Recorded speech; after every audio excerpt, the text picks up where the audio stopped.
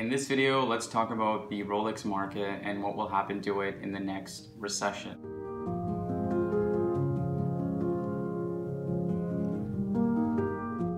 If you don't want to stay for the whole video, um, my general consensus is that not much will happen to the Rolex market. Um, however, we should dig deeper into this topic.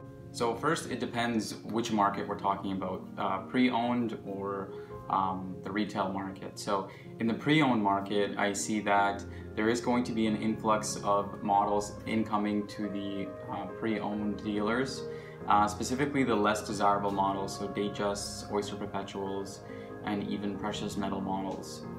Um, and the reason being is uh, you have to understand how people behave in recessions and uh, consumer behaviors. So a lot of people are going to be offloading watches in order to pay their bills or keep their businesses afloat.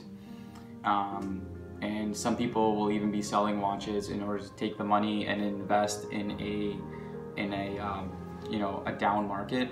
And so uh, there will be an influx of watches coming into pre-owned markets.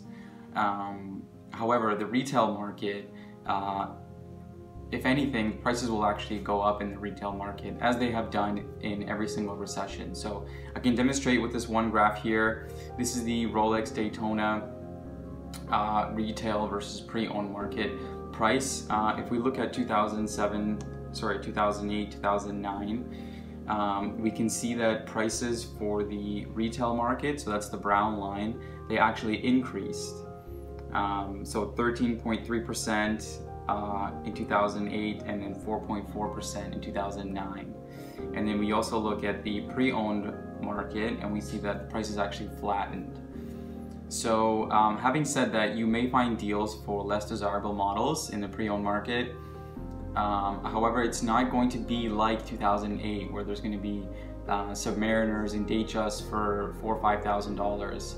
Uh, and I think that's because they just weren't as desirable back then as they are today. So it's going to be a different kind of recession um, for Rolex uh, because Rolex is so de so desired nowadays.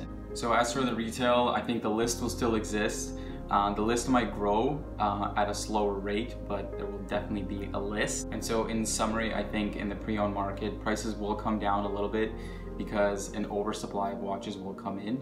Uh, however, I don't think it's going to be worth it enough for you to try and time the market to try and get uh, a stellar price like half off or something uh, off a professional model. So you, you definitely might get deals, um, but I think there's deals out there right now. If you go to a pre-owned market, a pre-owned uh, watch dealer, they, they do do deals. Um, I know my local dealer here, um, they'll do cash deals and, and, charge no tax and take some off the top as well. So um, have a look out for that in the next recession. I don't know when that will be. That's kind of my sentiment.